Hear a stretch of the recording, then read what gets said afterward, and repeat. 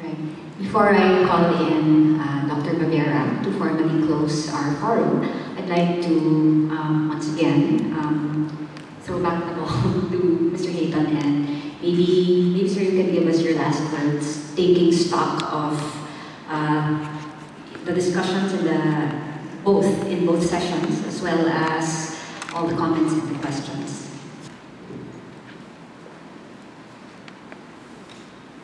Well, thank you all very much for coming asking great questions and for having them. Um,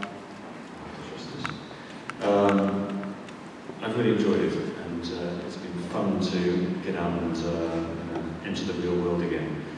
And I think that's the slightly alarming issue with, with this, is that this is, before I was talking about the past, but now I'm talking about something that's a live uh, issue and theoretically, you know, the things that we talk about here could influence the way people behave in the outside world and that could lead us closer or further away from confrontation. And know, we're not, you know, confrontation would be a very bad thing to have. Um, overall, I would say, I mean, since we're here in the Philippines, you know, the Philippines should have some confidence in itself. Um, it's uh, has a strong case legally. It shouldn't be psyched out either by historical arguments or by saber rattling in the Chinese media. Um, it needs to have a cool head. It needs to come to see these things as uh, political strategies which are, have a purpose, and it needs to think about a counter-political strategy which brings soft power and hard power and citizen diplomacy and all these kind of things together uh, in a way that de-escalates the situation, but also protects uh, what's important for the Philippines. I mean, one might draw a line of argument which says Philippines is currently suffering from a very high energy crisis, and it's retarding economic growth, making people's lives harder in the Philippines, and yet there are thought to be quite large gas reserves on the Reed Bank, and Recto Bank, which the Philippines is unable to develop because the oil companies won't go and lease you, lease uh, oil drilling rigs because they fear Chinese intervention. So you could say that China's attitude to territorial disputes is stopping the Philippines developing its natural gas resources. That's hindering the national development of the economy. That's keeping people poor. That's increasing infant mortality. You know, children are dying because of the territorial dispute. Yeah, I don't think that's too far-fetched to link you know, from one to the other. Okay, so you can see that there is actually uh, something at stake here for the Philippines rather than simply a legal argument about which uh, piece of rock uh, belongs to, to which country. Um, I mean, there are many ways forward. One could just ignore the islands and just say, let's just draw lines, boundaries from our main coast and just divide up the sea that way. That's already happened in the agreement between Malaysia and Vietnam when they sent their continental shelf submissions to the United States, uh, the United Nations in 2009. So that's, you know, there are possible ways forward here, but we are mixed up uh, in ideology, and history, and senses of self and identity, and that's, you know, much, much harder to try and resolve. But I would say, you know, just because you're a, a young country and uh, you're, you know, you feel relatively small compared to China. You know, don't think that the game is, is over. Um, as you uh, are discovering, there are ways forward through through the, the arbitration tribunal and so forth, which are not going to escalate a dispute but might offer a way forward. Um, and I want you to be critical of your sources. I mean, a lot of this, you know, the situation where we are now has come about because people have not questioned and criticised received wisdom um, and uh, I'm now becoming part of Received Wisdom, so feel free to uh, engage and criticise and uh, you know, shout down my sources too, because it all helps in the bigger picture. Um, you are, this, you know, it, it, there is a kind of, um, there is a battle going on, and uh, we are in the middle of it, and it's, uh, it's a global battle. Uh, the United States and China are um, engaged in a effective battle for, for hegemony, certainly in the region and potentially you know, beyond that. And there are overlapping territorial uh, disputes here. The problem is that one is, problems in one will influence the other and vice versa. Um, I mean, the, the situation, we are in some ways victims of uh, plate tectonics and, um, the other forces of geomorphology.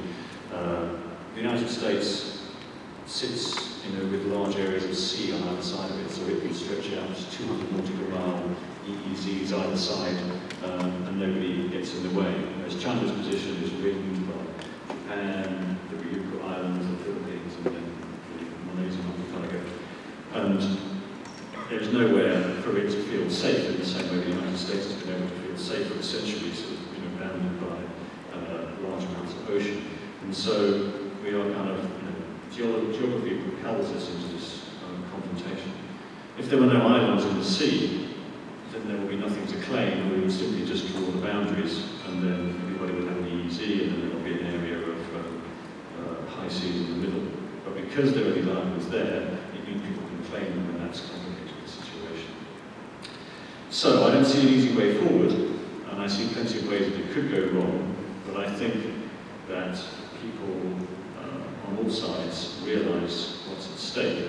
Um, I mean, the, from this from the perspective of the Philippines, I think the country has to avoid um, rushing into uh, positions that it can't sustain. It needs to be patient. It needs to build bridges with all sides. Um, and this sort of tendency, sometimes in the leadership, to have very emotive responses to actions just needs to be kind of all under control. And uh, a bit more patience needs to be applied in some cases. But um, You'll still have a bit of time before the book comes out. The, uh, um, the survival book on the market, as you may know, um, uh, Robert Kaplan, he's called his book on the region Asia's Cauldron. And we were discussing over lunch kind of why publishers like dramatic titles to, uh, to help sell their books. Um, because you know, it's a bit like big hawks and headlines. You, know, you want to go, oh my god, you know, crisis here. And the publisher thinks that dangerous ground isn't sufficiently dramatic enough to sell books. Um, so uh, I'm being you know, pushed and um, I'm looking for something that sounds just as good as Asia's Cauldron, but isn't Asia's Cauldron. So I need some suggestions. But the thing is, it's a potential cauldron, but that doesn't sell books. there might be a crisis, or there might not be. Uh, you know, but that, the point is, it's a, you know, it tells us so much about the, the way the world is going that uh, you know, let's just call it fascinating subject. Thank you.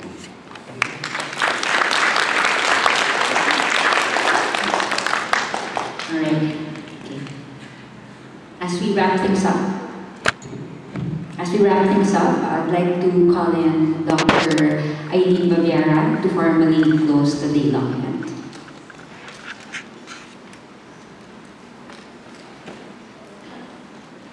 Thank you very much, Tina.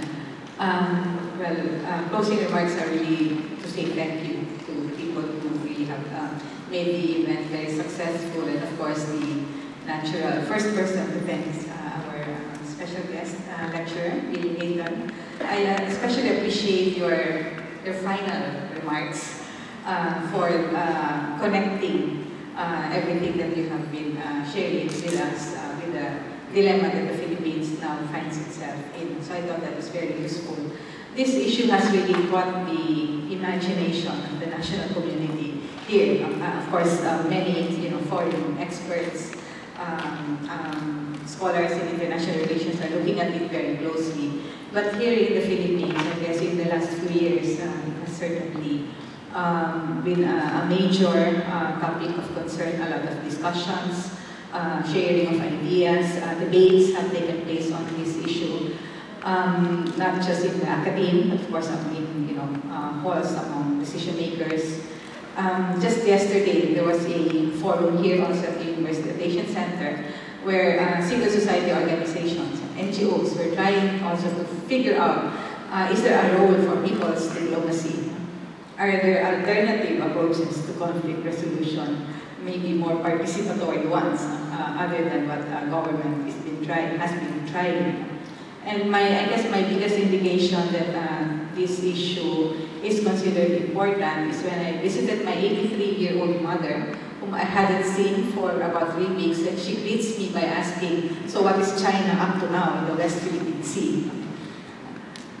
So, uh, so I think this is an important issue, and uh, it's uh, through the um, the uh, hard work, research work, and uh, lectures such as uh, what we have been provided by uh, Bill Hayton here, uh, that we are able to perhaps dissect the anatomy to deepen our understanding. And we have really moved from understanding the basic issues, the historical background and all that, into looking more closely at the various stakeholders. So uh, this, uh, this morning we had the chance to look at the uh, historical uh, perspectives of China and the, the origins of the positions that it uh, now um, promotes um, vis-a-vis this issue. And this afternoon we've taken, we've had this uh, very rare opportunity also to look closely at the uh, players, no, individuals who help shape the discourses, the narratives um, the Chinese side that our own decision makers also tend to react to very much. And uh, when um, these statements by the Hawks are publicized in the Philippine media, then it again captures the imagination of the Filipino public um, and uh, it, it uh, inspires, it fuels uh, also um, sentiments that uh, on the one hand um, pleases our government, that there's more nationalist uh, reaction against this. Um, on the other hand also perhaps uh, over the long term can complicate the search for solutions as um, we have been discussing um, in this session, the uh, history, interpretations of history really, are, really play a very important role uh, in this um, regard. So uh, let me just uh, say thank you again to Bill for sharing with us uh, not just a few hours but the whole day of a very brief uh, visit here to Manila. I'd like to thank our, um, our the members of our audience, of course our um, various participants. We've had a very uh, engaging discussions, um, um, even over lunch uh, and on the sidelines of this um, of uh, the lectures. And I'd like to acknowledge again the uh, special guests who have been very actively participating here. Uh, let me thank also our co-organizer, um, the Third World Studies Center, uh, represented by Director Dr. Ricardo Jose. Um, so we hope to be we hope that you will all read Bill's book when it finally comes out. It's, a, again, a very special opportunity you know, to, to learn about this project before it's even published. Usually we wait for authors to do book tours. Now we have a preview of this very important work that's uh, coming out. And we hope to see you again at the next uh, roundtable or lecture or forum. So maraming salamat sa inyo.